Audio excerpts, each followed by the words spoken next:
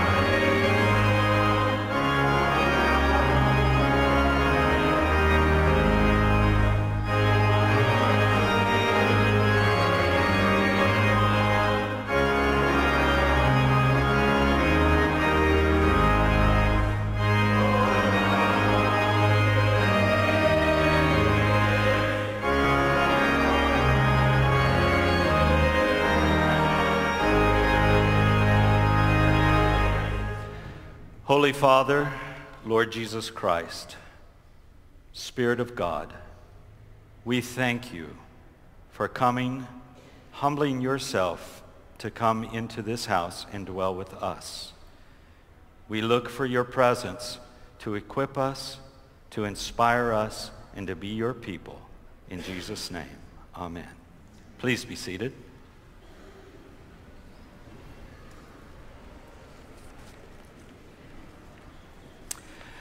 I want to give you a big welcome this morning to our church here at Kettering. We know that you folks come for inspiration, and I know that... Hey, Victor, how are you? Hey, I'm, I'm doing great. What are you doing? Yes, what are y'all doing? I'm prepared. Oh, are you getting ready for this race? You betcha. It's a 5K. Sign It's going to be great. it. Yeah, right we're- here in the lobby. That's right. And somebody September says you can sign up to walk or run on Monday online if you want. 5K. How far 5K. is that? 5K. I think that's about three miles. It's not far at all, and it's Run, all going to be off-road. Yep. Save the date. Hey, I'll look forward to. September practicing. 25, 8 o'clock, September 25.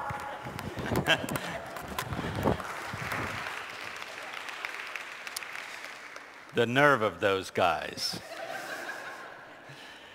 I hope you got the intent of that, and that is whether you jog, run, or walk, we hope that you will move on September 25 as our health team sponsors a run that will benefit the women's shelter down, downtown. I wanted to um, also ask an important question this morning.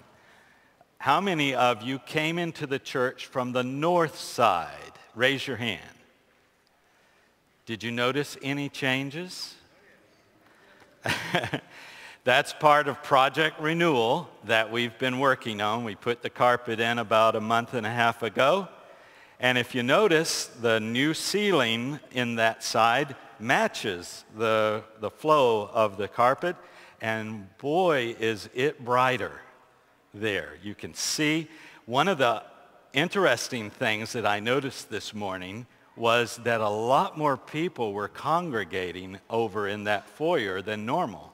I, maybe it's because it's brighter. I'm not sure, but that, that was a wonderful thing to see. Um, I just want to report to you that the, this next week we're going to do the same thing to the other side.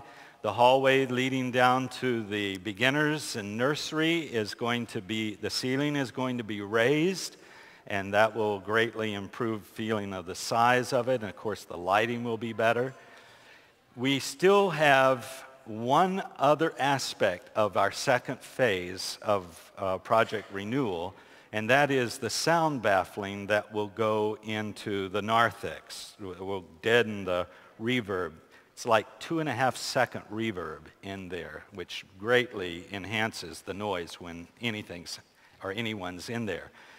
The only problem with that pro- part of the project is that we have not received sufficient funds to carry that forward. So here's my plea for you is to think once again of giving to Project Renewal so that we can finish that phase and then head on to the third phase in the future, which is our bathrooms. We hope to redo them all and very modern. So I like what's happening. I hope you do too. But we need you to con- uh, consider giving towards Project Renewal to see these projects of facelifting our church up. Secondly, uh, Jerry wanted me to announce that next Sabbath is men's chorus. And if you sing, have ever sung, and would like to join them, they'll meet here in the choir loft at 9.30 next Sabbath morning to practice. And then please make note that the Pathfinders are signing up for um, for their registration this tomorrow, 1 to 4 at the Centerville Church. I think there's an insert about that. Also, in the month of September, we're going to do, I think, our third CHIP program. How many of you have taken CHIP before? Okay, I see a smattering of hands. It's a great program to not only improve your heart, but to lose weight and to uh, better your lifestyle. And we have a short video for you to see about that program. Killing you? Are you dying for a double cheeseburger and fries? 70% of all deaths are now attributed to lifestyle choices. And thanks to obesity-related health issues, this will be the first generation to live shorter lives than their parents. We all know the solution. Move more, eat better. But we also know the power of bad habits. How do you change an entire lifetime of unhealthy choices? You can't do it alone, but there is help. CHIP is the lifeline you've been waiting for. You'll see a big difference in just 30 days. Heart disease, cancer, diabetes, high blood pressure. These diseases, virtually unknown a hundred years ago, are now responsible for three out of four deaths. Today, obesity is the number one health concern in North America. But our unhealthy lifestyle isn't just affecting adults. Obesity and its lifelong health consequences is now the top worry for children. But what hope is there for children if parents are settling for a life of medications, dialysis, angioplasties, and bypasses? Clearly, our indulgent Western lifestyle isn't working. But how can we change? You need to know lifestyle diseases aren't just preventable, they're largely reversible. And with the CHIP prescription for health, you can see changes in 30 days. Clogged arteries begin to open up. Blood pressure People eat more and weigh less, and high cholesterol levels drop more than 20%, and the extra pounds come off. How? By making safe, simple, painless, and deliberate lifestyle choices. It's all about your choices. CHIP gives you the education, motivation, and supportive community to make smarter choices. The CHIP program was founded by Dr. Hans Diehl, director of the Lifestyle Medicine Institute. Along with esteemed researchers, Dr. Diehl has shown that through simple lifestyle changes, many of today's killer diseases can be turned around. Now, he's taking that message around the world, liberating people from a life of obesity and disease. 50,000 CHIP graduates are living proof. CHIP works. The CHIP clinical results, based on before and after clinical and lifestyle evaluations, have been published in close to 20 medical journals, and medical professionals around the world are taking notice. And so are corporations. By bringing CHIP to their workers, progressive companies are reducing their medical costs and improving productivity. I was on seven pills and oxygen and one year to live. Since I found CHIP, I've lost 85 pounds and I'm now living the best life ever. In the CHIP program, you will be given attractive and easy-to-use program materials targeting important health and lifestyle issues. New behaviors are reinforced by the CHIP support team, our staff, alumni, and current members. The friends you make here are friends for life, in more ways than one. These changes are much more powerful than medication. Every community should know about the CHIP program and give it a try. CHIP can help you get the healthy life you've dreamed of. Kick the old habits of the so-called good life and with CHIP, step confidently into the best life.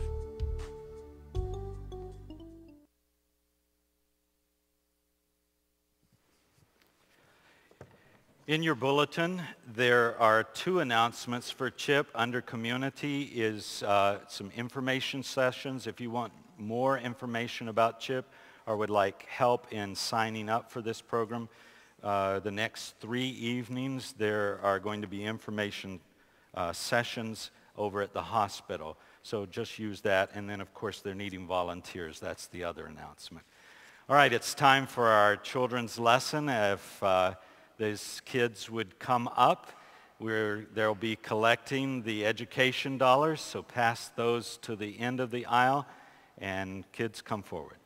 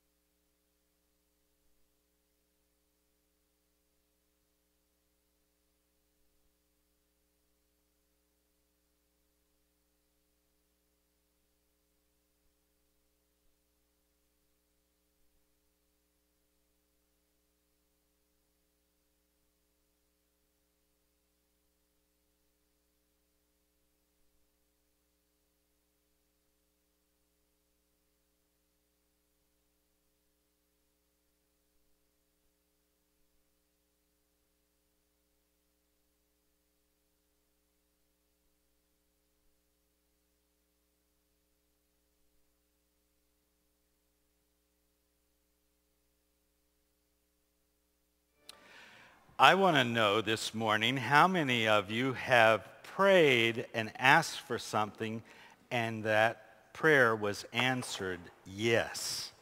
Have you had that? Yeah, good. You know, when I was five years old, I prayed a prayer and had it answered yes. My favorite toy was an Indian tomahawk. It was plastic. It couldn't hurt anything, but that was my favorite toy. And one day I lost that.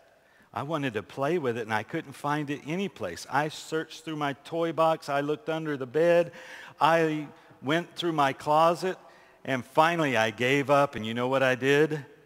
I went to my mom and I said, Mom, I can't find the tomahawk. Where can it be? And she said, have you checked the toy box? Yes, I have.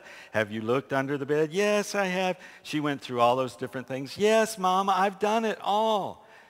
And then something popped in my head, something that I had learned at Sabbath school time. And that was sometimes when you need help, we should do what? Pray. Right. So I said to my mom, but I haven't prayed yet. And so together we knelt down in my room and I prayed a simple prayer, Dear Jesus, help me to find my tomahawk. And then my mother said, let's look in your toy box again. And with mom's help, we went and looked in it, and guess what? It was there. And I had my tomahawk. But I was more excited about getting a yes to my prayer than even the tomahawk. That felt so good. Have you ever, though, prayed when what you asked for you didn't get? Have you ever done that? You have? I'm not going to ask what you prayed for because you didn't get it. But I'll tell you one time I did that my cousin, when I was about seven, was about one year older than I was. And while I was at church one evening at Vespers, my dad came up because I was sitting on the front row. That's where I like to be. And he tapped me on the shoulder and he said, come with me. And I thought, oh my goodness, what have I done wrong? I thought I was in trouble. But when we got out, he said, Joy, your cousin, We've just found out he went swimming today and he drowned. Oh, that was terrible news. That I had never expected that at all. And we left the meeting and went over to my grandparents' house. And when I got there, it was not the normal house I was used to because my grandparents were so distraught because my cousin had been staying with them at the time that they were crying. You, I could hear my grandmother wailing uh, with tears of sadness. And I thought, this is terrible. I don't want to hear it. I don't want any of this. And it upset me so much that I went outside the house and I walked around and around the house. And you know what I was doing while I was walking? I was remembering something else I had learned at church. I remembered that Jesus had raised people from the dead. And I thought, that's the only solution to get my grandmother to stop crying is to for Jesus to raise my cousin from the dead. And so I prayed, dear Jesus, please raise my cousin up. Let him live again. And you know what Jesus did? Nothing. I didn't get that prayer answered. I was sure Jesus could do it. And I was sure that that would help my grandmother, but my prayers weren't answered then. And you know what? I don't know why. But I'll tell you one thing. Pastor Carl's sermon today is going to talk about when God doesn't answer your prayers. And I can tell you also, it's really good. So if you want an answer to why God sometimes says no or wait or whatever, and doesn't answer your prayer like you want it to, listen and he'll explain. You can go back to your seats now.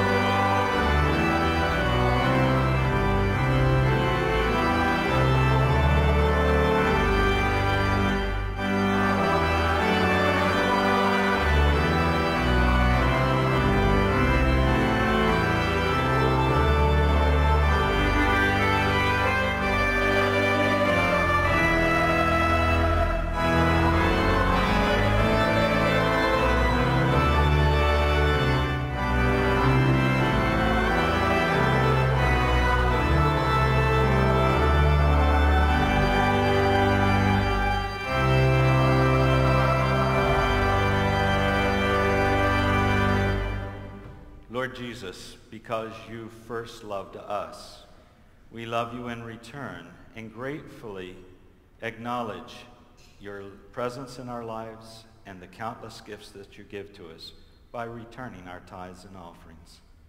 Bless us as we continue to serve and live for you and to share your love to others. In Jesus' name, amen.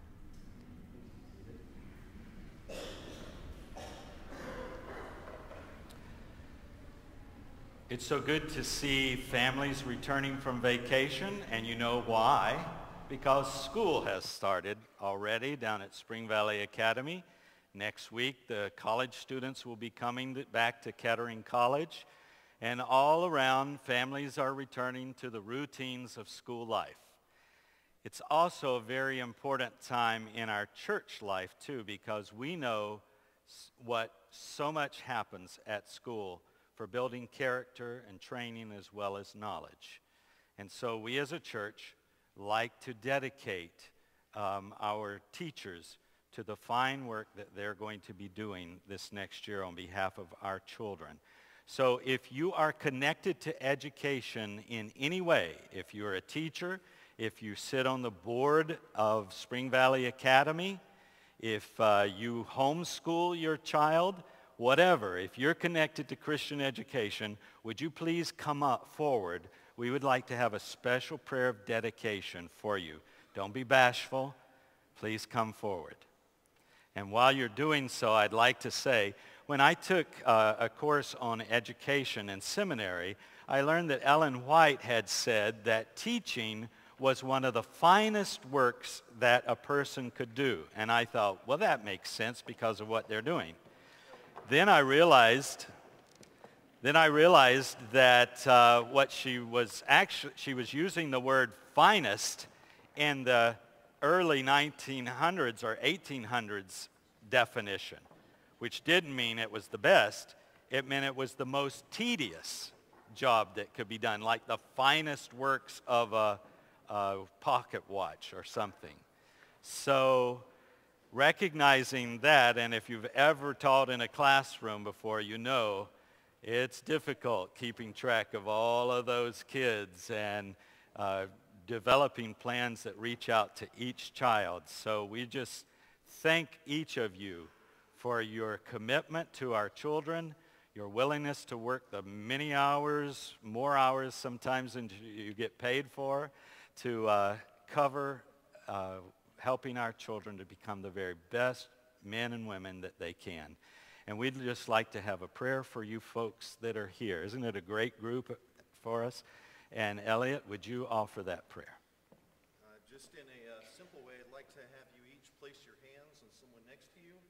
I recognize you all as uh, ministers in a certain aspect, that you minister to our kids, my child, and uh, all these children. And so we are asking for this commissioning to be on everyone here today. Would you please bow your heads with me?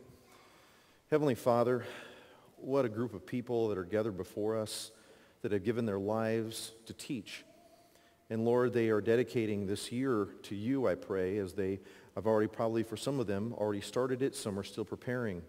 But God, this is a holy ministry. And I pray, God, that you would just continue to lift them up in our minds so that we could lift them up in prayer each and every day.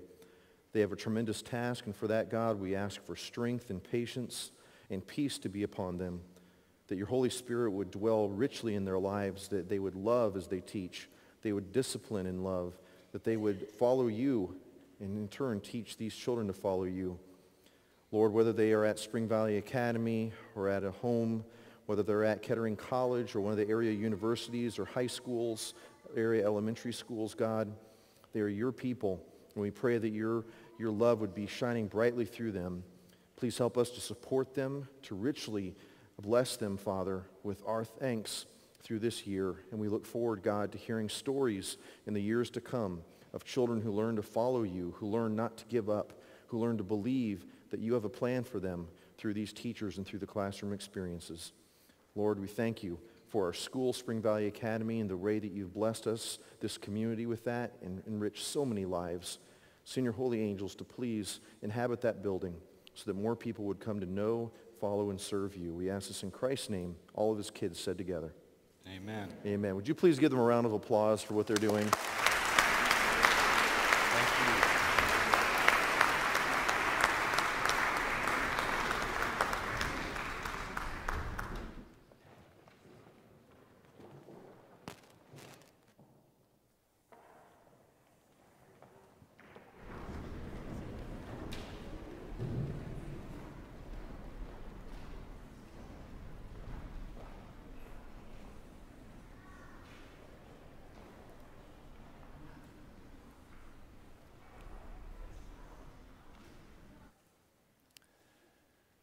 Some years ago, my brother Paul called. He said, Faye, his wife, is pregnant again. I gulped, searching for what to say next. They had been pregnant five times before this, and they had no children. All of them had ended in miscarriages. Finally, I said, Well, I'll pray like I've never prayed in my life.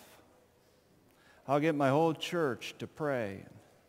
My brother was working as a pastor at the time, but his faith was frayed and his belief in prayer was waning. And he said, well, maybe this time we ought not to pray because after all, if prayer really worked, we'd have five children by now, wouldn't we?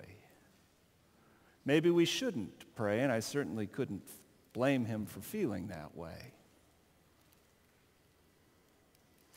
How do you explain unanswered prayers. Now, in the story of my brother, they uh, did have that child. He's a freshman in high school now. Uh, later, they had another healthy baby boy, and he's doing well. But I almost hesitate to share the rest of their story with you because I know it doesn't always end up like that. And I know of couples who prayed just as much as we did and wanted a child just as badly as my brother and sister-in-law, and for whatever reason, God never answered that prayer. And every time they see a child, there is this deep ache, this pain within. Philip Yancey acknowledges the glib answer that we often give to that question, why do some prayers go unanswered? He writes in his wonderful book called Prayer Doesn't Make Any Difference. He says many books on prayer include a statement like this. God always answers prayer, but sometimes no is his answer. Have you ever heard that as an explanation? Sure. Then Yancey goes on to say, I read that statement and then think of specific friends and relatives who received the negative answer. Why? Were their prayers somehow deficient? I suspect all of us have known the agony and the ache of unanswered prayers, of begging God for something that is good and noble, and for whatever reason, it just feels like the prayer dissipates into this black abyss, this vacuum out there. What are we to do with unanswered prayers? Today we conclude a short series on the topic of prayer by tackling this sticky subject of unanswered prayer. Why does that happen? Well, if you would, you can find the outline there in your bulletin, and you can take some notes along the way as we explore some plausible answers to that question, looking at examples from Scripture that illustrate these possible answers. For starters, perhaps God says no to our prayer requests because maybe the request is just wrong. And God says no. We have examples of this in the Bible. For example, you remember the story in Matthew 17 of the Mount of Transfiguration where Jesus is there with Peter, James, and John, and Jesus begins walking around with Moses and Elijah. That's when Peter speaks up and says, Lord, it is good for us to be here. If you wish, I will put up three shelters, one for you, one for Moses, and one for Elijah. And Jesus responds by saying, no, there's still work left to do. Not a good idea. Answers, no, because it was a misguided request. Another example from Matthew chapter 20. You remember James and John were jockeying for a seating upgrade in the new kingdom of Christ, and so they sick their mother on Christ to ask of him this ill-conceived request. Grant that one of these two sons of mine may sit at your right and the other at your left in your kingdom. And again, a misguided request, and so Jesus simply answers by saying, no, that's not how my kingdom operates. Or you remember the story of when Jesus and his disciples were heading into a Samaritan village. And of course, there was great hostility between the Israelites and the Samaritans. And so James and John asked Jesus, hey, do you want us to call down fire from heaven? Luke chapter 9, as if they really could do that if they wanted to. And Jesus says, no, not a good idea. Thanks, but no thanks. We know of at least four incidents in Scripture where the man is so discouraged, so depressed, that he actually asks God to take his very life. Just help me in an assisted suicide. We hear this prayer from Moses, Jeremiah, Elijah, and Jonah. All of them, God, just kill me. Take my life. That's their request. And God says, no, no, no, no, each time. I wonder if maybe when that dark cloud of depression finally lifted, if perhaps those great men of God reflected to say, oh, I'm so thankful that God didn't answer my prayer. In the words of the old country western song, sometimes God's greatest gifts are what? Unanswered prayers. See, there's one other country western listener here with me today. Well, it came out years ago by Garth Brooks. In it, he tells the story of returning to a high school reunion and there seeing the woman that he used to just be in love with. And he prayed and prayed, God, bring us together.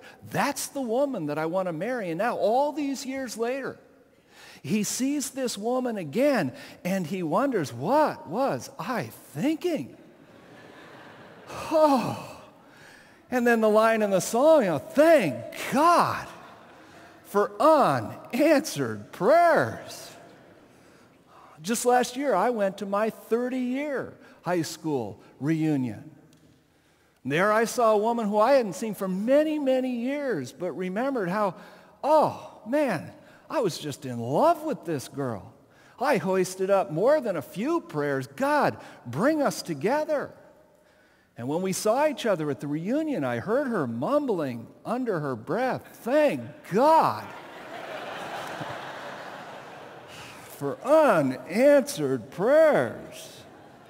So quickly, just turn to the person next to you and say, you are somebody's unanswered prayer. No, you don't have to do that. Now, here's the deal.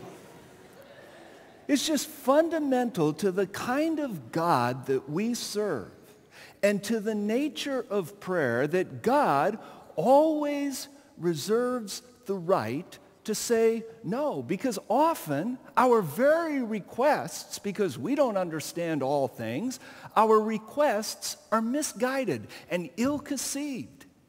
And if we could see the bigger picture, we would be very thankful. Thank God that he said, no. If we always got what it is we're praying for, then we would see a disaster. It would be a catastrophe. We see this sort of played out in an old Hollywood movie. Any of you remember the movie Bruce Almighty? It was starring Jim Carrey, who plays just this ordinary old guy called Bruce Nolan.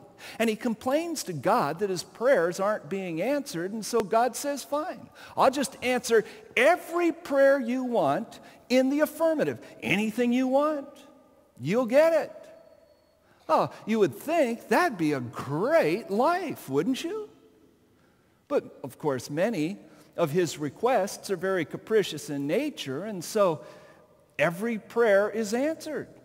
As he encounters a traffic jam, he just prays, God, part the traffic. And sure enough, the cars just part so that he can drive through at full speed in his brand new sports car, kind of like the children of Israel walking through the Red Sea. This is great.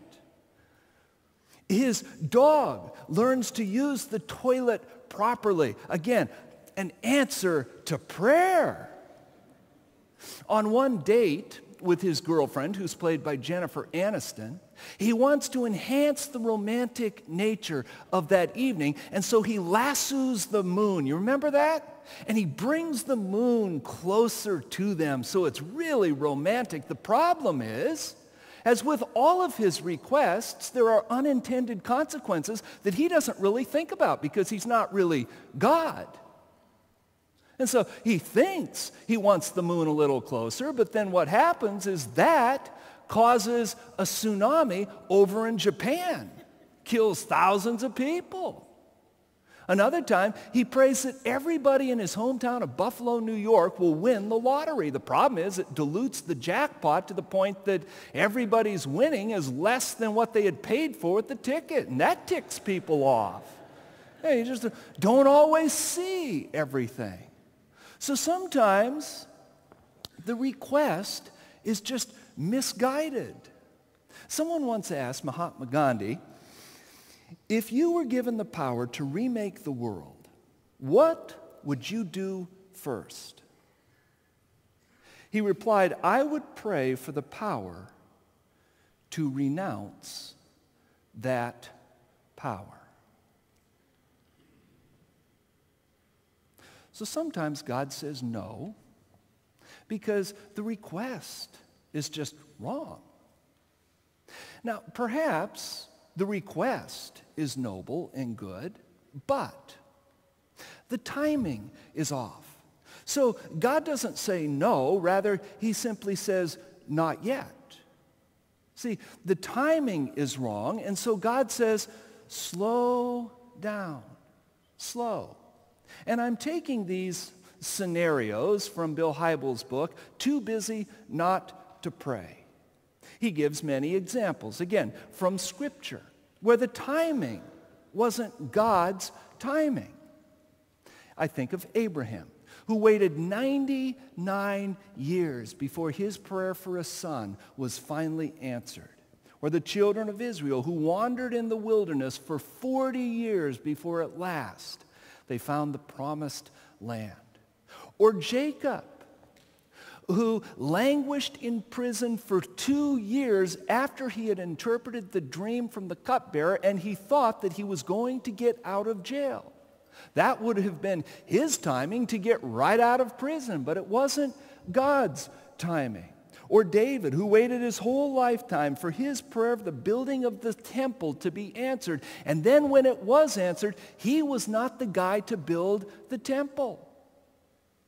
Or the Israelites who waited for centuries upon centuries for the long-awaited Messiah. God's timing is not always our timing. The prophet Isaiah gives us this promise. They that wait upon the Lord shall renew their strength. Anybody here like to wait? Wait upon the Lord and your strength will be renewed. I hate to wait. I hate it when my plans are delayed even by 10 seconds. I hate waiting, don't you?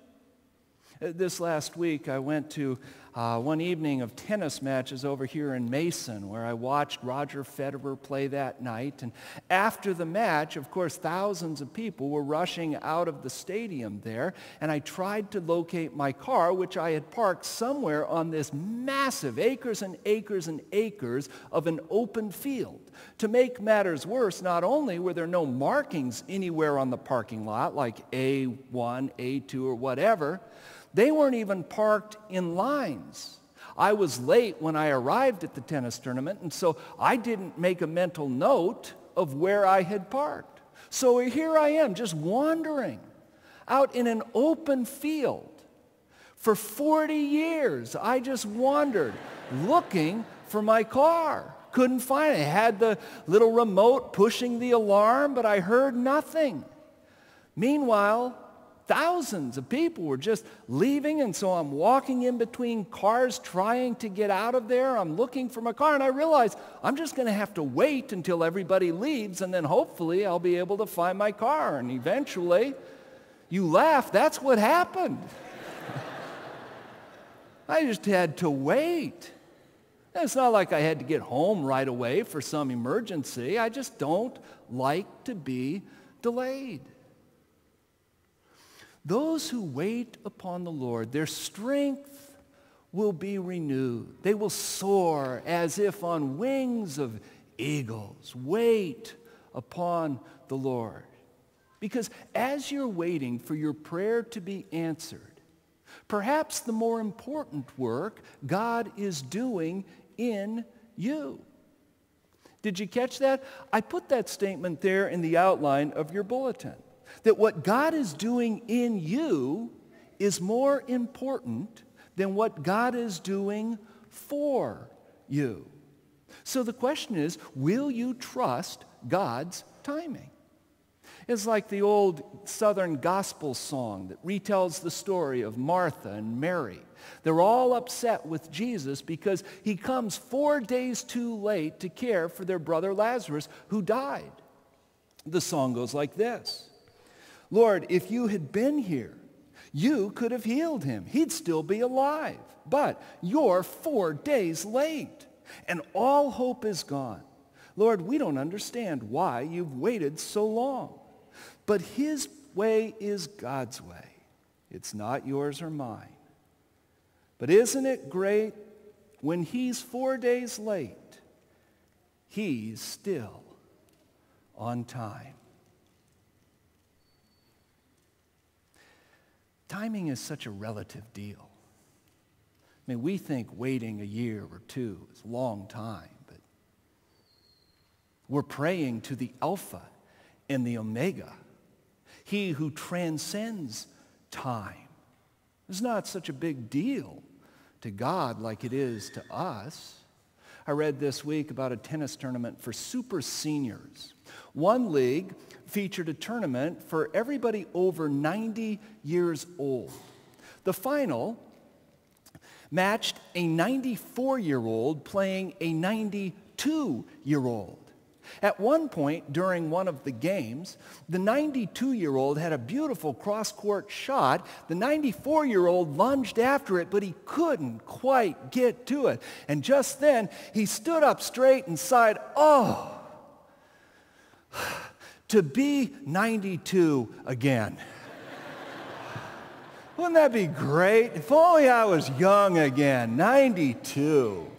Hey, time's a big deal to us, but not to God.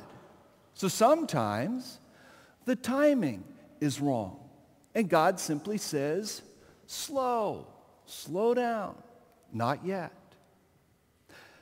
Other times, it might be the person praying who is wrong.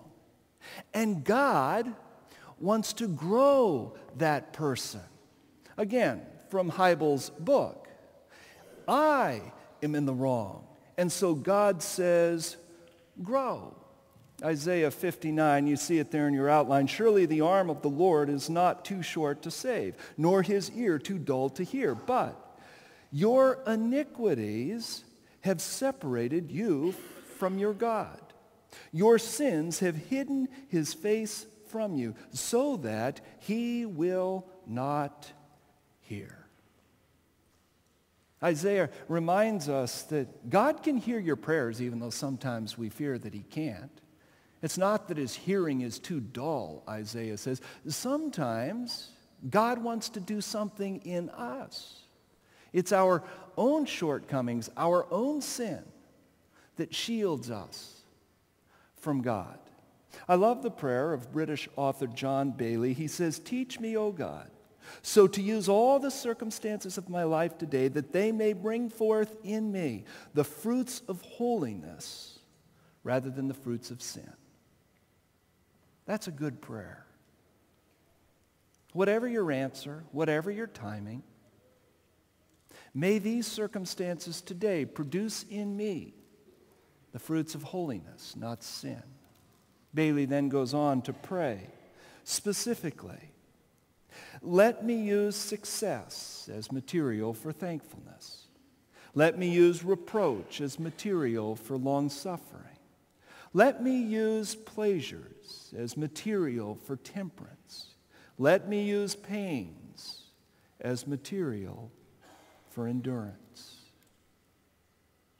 So when you're waiting on God's answer, perhaps ask yourself, where is God calling me to grow?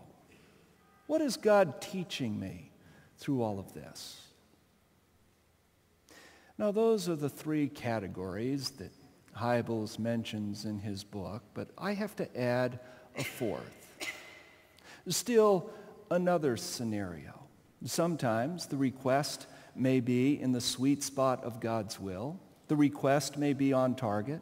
The timing could be right. There's nothing shielding you from God, and still the answer seems to be no. God still seems to be so strangely silent and so distant. Why?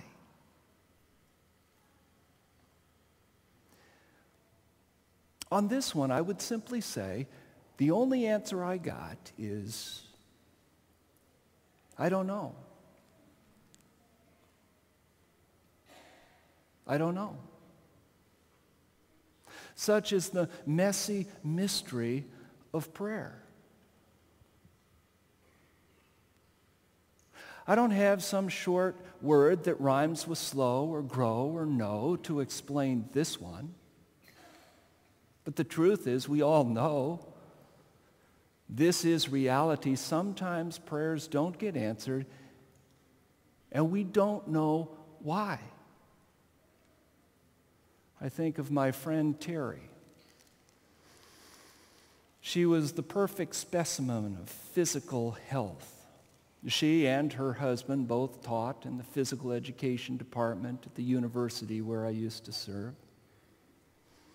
She would compete in marathons along with her husband, as well as Ironman competitions. She took health really seriously. They both did, along with their son, who at the time was about eight years old. Beautiful family. I mean, they ate right. They regularly ate tree bark and tofu and all of this stuff. Then came the diagnosis. One visit to the doctor. Melanoma. And thus began a two-year journey together. I regularly visited them. She would give regular updates, but it was just so discouraging because it seemed every time I went to visit, she just seemed a little weaker, walked a little slower. Her spirit seemed to be a little lower. We did everything. We followed the counsel of James, and I went to their home. We had an anointing service, as Scripture tells us to do. We confessed our sins and said, if there's anything that's blocking us, God, God, please, I, I just begged God, please.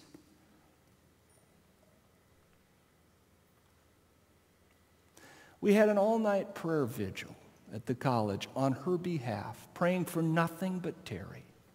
God, we're just begging you as a community here. Save her. Heal her. You can do this, God. We did something very similar for other people in the community. When the university president was diagnosed with a rare and aggressive form of cancer, for him, we also held an all-night prayer vigil. In his story, it seemed to be a miracle. His cancer went into remission, and he continues to live a strong, healthy, abundant life. God answered our prayers. But ironically, in his story, a few years later, his daughter was diagnosed with a rare, aggressive form of cancer. We held an all-night prayer vigil for her. We anointed her. She had three beautiful young girls, great family, wonderful person. She died.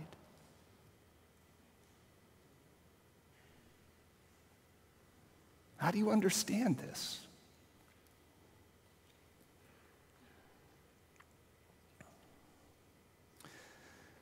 The phone call came as I feared it would from Terry's husband.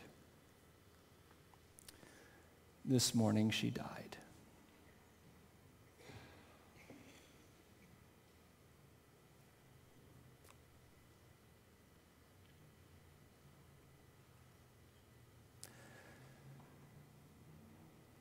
So, why was that prayer unanswered?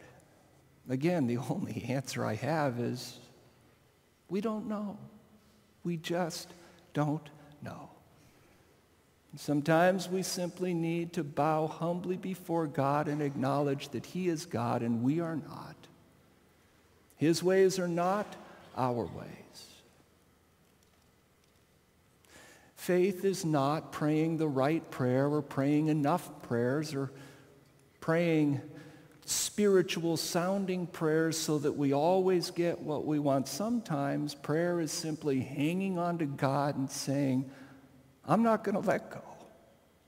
I'm going to have faith and trust you even when the answer comes back no or you seem so painfully distant.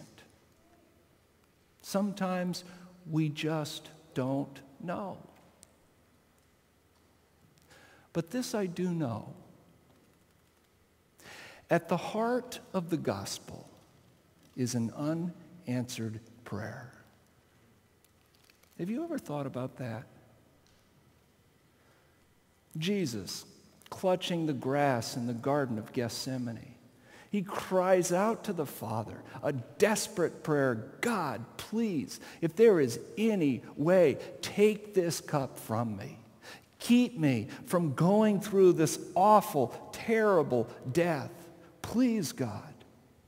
This is the most desperate prayer ever prayed from the most discerning spirit who has ever lived, from the purest heart that has ever beat, for deliverance from the most unjust suffering ever known.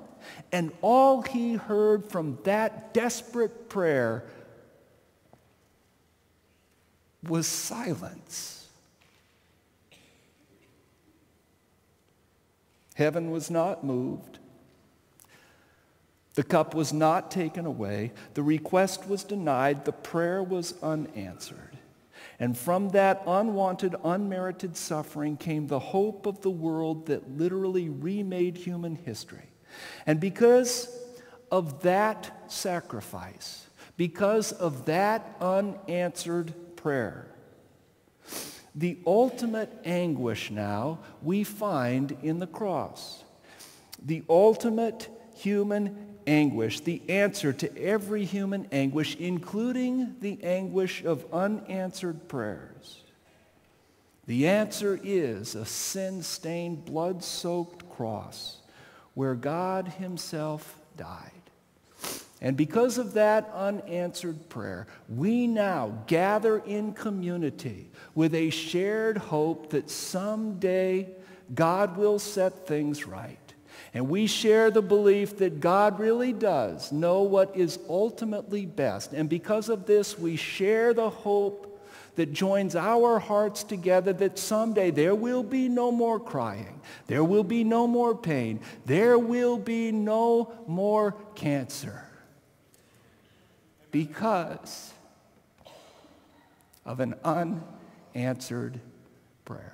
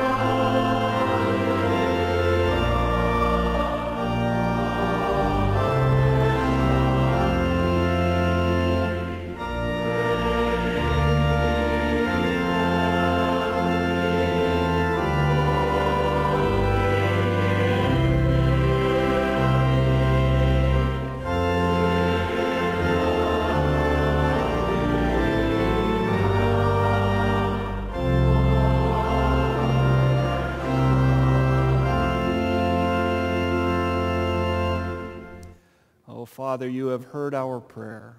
Send your Spirit to fall afresh on your people as our prayer. Go with us now in your name.